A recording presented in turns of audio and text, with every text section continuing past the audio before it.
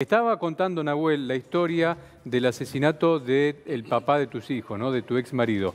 ¿Por qué lo matan a él? ¿Porque se mete en medio de qué? Porque le roba la... Mi marido, yo no voy a mentir, yo se lo dije a los jueces de un principio. El papá de mis chicos era pirata del asfalto.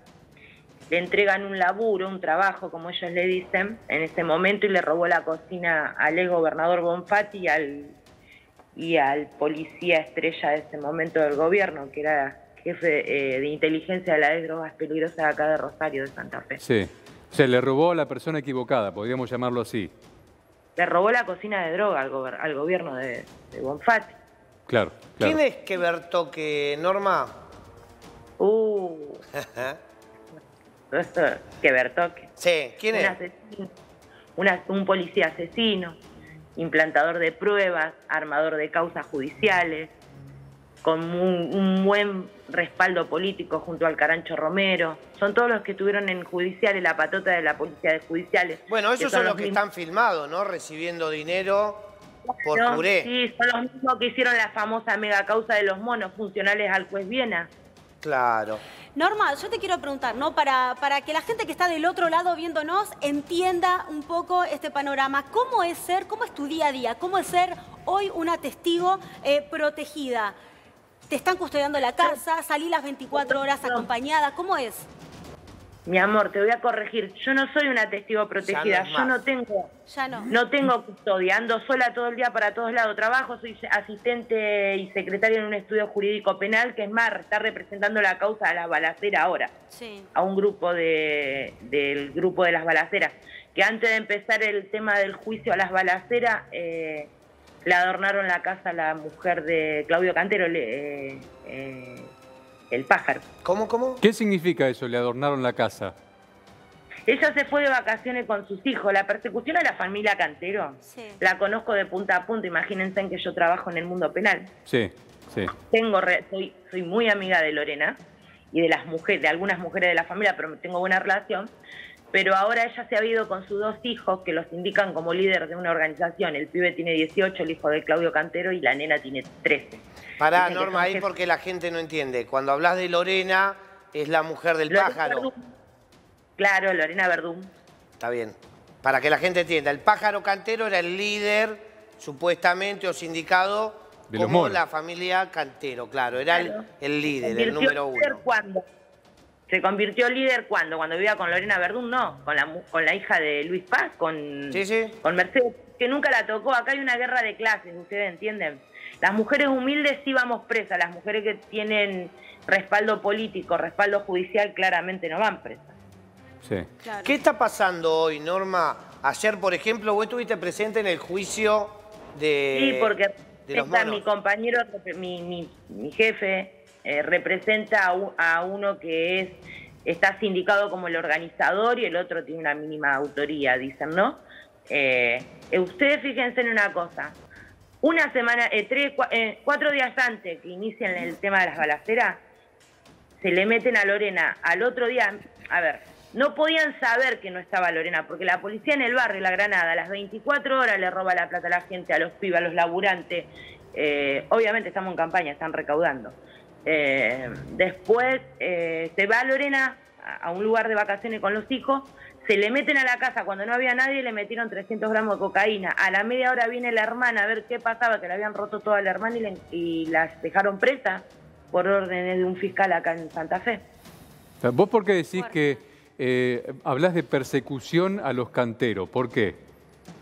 Porque sí, porque es una persecución, un ensañamiento del año 2013, después que matan a Saboldi, lo matan a Claudio, Cantero el pájaro, y después de ahí, bueno, todo lo que a ustedes se les ocurra, lo impensado en una película de Pablo Escobar pasa acá en Rosario. ¿Cómo está Cantero, la familia Cantero, la familia Cantero, pero nadie habla, a ver, de, otro líder que es muy poderoso. En Rosario que la mano también tiene mucha mucha llegada con, con ¿cómo es? Con Luis Paz. O sea, hoy tenemos de Lorena Verdún, ¿no? Ya van por más. Vos decís que eh, los canteros no son inocentes, pero no son los únicos, eso es lo que estás queriendo decir. Pero bueno, son unos cuatro de copa, ni existen a comparación de lo que tenemos acá en Santa Fe. Mm. ¿Querés que te nombre un jefe narco? A ver, sí. me hago cargo de lo que digo. ¿Sí? Te escuchamos. Eh, el, ex ministro de Seguridad de la provincia de Santa Fe. Y bueno. Puyaro, que hoy está con Campos y se vende como un señor que tiene lo que tiene que tener para derribar esto y no nos podemos olvidar que en, la gestión de este señor, acá en Santa Fe, eh, tuvimos homicidios, la tasa más alta, tuvimos eh, mataban mujeres como mosca, criatura como mosca, y todos le echan la culpa a la Granada, a la Granada, porque a ver, ustedes a ver, ustedes los medios de Buenos Aires por ahí no hay cosas que no le llegan a ustedes porque no quieren que lleguen. Pero, por ejemplo, hoy es más fácil y más creíble echarle la culpa a la familia Cantero para desviar a los, a los verdaderos responsables de tanta barbarie, porque es fácil decir, a ver, por ejemplo, lo que salió diciendo Guillermo ayer, no dijo yo mando a matar gente o tiro, tiro a los jueces, se reía, les dio a entender que lo están tomando, lo, agarran ya a todo el mundo para la joda, por eso se sentó y dijo las declaraciones que dijo, porque venía muy caliente el tema. Le meten 300 gramos de cocaína a la, a la cuñada dentro de la casa donde están sus sobrinos, los hijos del hermano fallecido. Que sabemos que Lorena Verdún se cae de Maduro, que no va a tener 300 eh, gramos. ¿Con qué? Con nada va a tener, porque no, o sea, no es una mujer tan tonta para hacer eso. Primero, punto uno. Punto dos, que no va a estar enojado si al sobrino se lo buscan por un homicidio, 18 años tiene el pibe por un audio que circula, dicen que fue Lucho Cantero. Entonces, Norma, Los Monos no es la principal banda narco de Rosario. No, pero, pero por favor, preguntémosle a Puyaro que sale vendiendo por todos lados y, a Baclini, al, al, fiscal regional, que es un escándalo decir que 48 horas antes, un diario de ustedes haya muy conocido, 24 horas antes de las balaceras al Poder Judicial, que ahora las últimas, ya sabía que iba a suceder esto. Díganme, ¿cómo van a saber que iba a haber un atentado en el Poder Judicial? Norma, o, sea que, o sea que lo que vos planteás sobre lo que nosotros conocemos sobre los monos es todo ficción. ¿Eso es lo que vos planteás? Es una, una serie contada como que si fuera un relato de ficción, porque la realidad es esa. Todos los males de la provincia son ellos y no dicen que tenemos comisarios que han firmado abreviados por ser parte de, de, una organización, por narcotráfico, por homicidio, por enriquecimiento ilícito, por lavado de activos. A la actualidad tenemos eh, comisarios condenados por la, justicia federal, el niño mimado del ministro de Seguridad, de Puyaro. a ver, comisario de altísimos rangos. Claro. Es terrible. Y los fiscales son funcionales, algunos fiscales, ojo, ojo que no todos, pero hay un grupo determinado de fiscales que responden a, a, un operador. Hay dos, acá en Santa Fe tenemos la política, obviamente que está metida, el socialismo. El socialismo está como loco, porque después de tantos años, aclaro que no soy peroncha, no soy peronista para nada, ni macrista tampoco.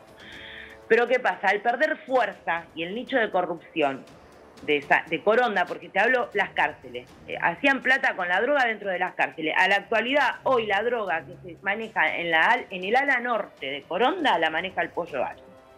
Gente de Luis Paz. Y que no me digan a mí que no, porque yo lo sé, porque aparte milito. Yo soy militante de organismo de derechos humanos y me llega todo.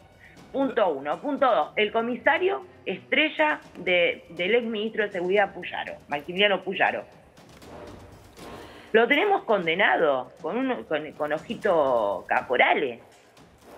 Eso no es nada. Los otros que ustedes nombraban hoy que hicieron referencia a la causa mía del 2009, están todos por, por, por la justicia federal y provincial están todos procesados por lavado de activos y enriquecimiento ilícito y por ser parte de una organización que se dedicaba a matar personas, a vender droga en, gran cantidad, o sea, y creció el patrimonio exponencialmente y que nadie dice nada.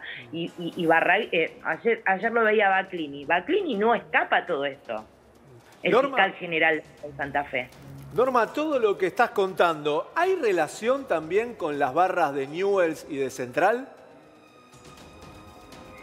Eso ya no te lo podría decir, pero a un barra sí lo dejó este fiscal que hoy está en el juicio de las balaceras, se animó a dejarlo preso y yo creo que no le dio para adelante por el tema de que hubo jueces que no se animaron. Ahora, no, porque acá en Buenos Aires, Norma, siempre se habló de la conexión que tenían los monos sobre los, los jefes de las barras, de tanto de Newell como de Central, ¿no? Mira, decime cómo pueden hacer. Mm. Norma, decías que no sos testigo protegida hoy en día. Este, Entonces, ¿cómo es tu día a día? un poco lo que te preguntaba Vero. Claro, ¿podés hacer una vida? Decías que tenés trabajo, ¿tenés una vida relativamente normal o temés constantemente porque te pase algo? No, no, tiraron tiro en la puerta de mi casa. Ah, otra cosa, tiraron tiro en la puerta de mi casa. Hará Pero vos ves cómo, lo, ves cómo lo contás, Norma, como si fuese normal. Claro. Ah, pará, vino el cartero, me mandó tres pipazos a la puerta. Normalmente naturalizado esa manera de vivir. Claramente que lo tengo naturalizado, muchos chicos ahí. ¿Saben por qué? Porque me clavaron el padre de mis hijos en la cara muerto, nadie dijo nada. Me clavaron a mi hermano mintiendo, que como hicieron con la, hacen con la familia Cantero. Mienten. Que mi hermano fue a robar, mentira, fue con una plata del sindicato de portuarios. O sea, nadie dice nada de eso. Se tiene que callar porque nadie, no hay justicia, ¿me entendés? Para algunos. Después me matan a mi hijo de 26 tiros y el mismo fiscal que le está buscando el hijo a Lorena Verdún es el mismo fiscal que se escondió una escucha de la muerte de mi hijo en tiempo real. ¿Saben lo que es escuchar la escucha de tu hijo que te lo están por asesinar, que te dicen, dale todos los tiros en la cara, se mata? No, eh, Norma, decíamos, bueno, eh, te estamos escuchando y tenés naturalizado esta manera de vivir que, que te disparan en tu casa, eh, vivís con tus hijos y la verdad que a nosotros nos produce un temor tremendo. Me imagino que así deben vivir el resto de los vecinos, o sea, todo, lo, todo Rosario, Hemos escuchado testimonios de comerciantes que... Así? ¿Por, qué? los vecinos viven así? ¿Por qué viven Porque así? justicia, si vos vas a la fiscalía y decís, vengo a denunciar un cantero, sale, viene hasta hasta hasta Jorge Baclini, el, el fiscal eh, eh, general. de Santa Fe a tomarte la denuncia.